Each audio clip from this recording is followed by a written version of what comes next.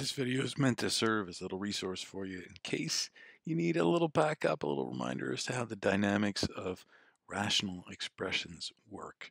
And you'll see that again, these questions, 90% of what you're doing is just relying on your factoring skills.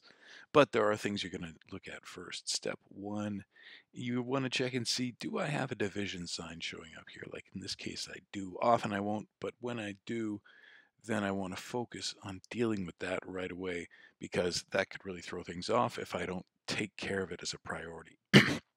if I just go ahead and start factoring, then start canceling, I'm liable to cancel things that I'm not allowed to cancel. Like I might start canceling stuff from up here with stuff from down there, and that wouldn't work because when I execute this division properly and turn it into a multiplication, I'll see that this stuff that's down here actually lives up on top and it would only be able to cancel the stuff that's down on the bottom, like this, anything that might come from this x squared minus 6x over here, or anything that might come from the stuff that I'm now putting on the bottom, which just comes from up there. So just to finish this last little step, I want to make sure to recopy the top of this fraction over here. Step one, you check for division. If there's division, you turn the division sign into a multiplication and you flip over the fraction that is after the division sign. Now that you've done that, you get into most of the work in rational expressions, which is factoring. And the important thing is factor, factor, factor, factor before you get to step three. Rational expressions, the thing that we remember most about them is the canceling you do but it's dangerous to start canceling too soon. Really, you got to factor as much as you can, absolutely finish all the factoring you can before you start canceling. Uh, so here in this case, I've got four different polynomials to consider factoring. Uh, this one down here, x squared minus 6x, that's just got a GCF. Remember, always check for GCF first. This one here, I check for a GCF. There isn't one, and I see it's just x squared minus 11x plus 30. That's a simple trinomial, so I just need two numbers that multiply to positive 30 and add up to minus 11. So that's going to be minus 6 and minus 5.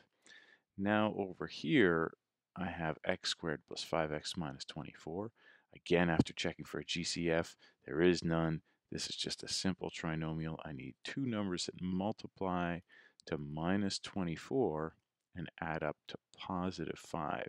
So it's going to be a plus 8 and a minus 3. And then finally, x squared plus 13 and x plus 40. That's, again, I check for GCF. No GCF is there.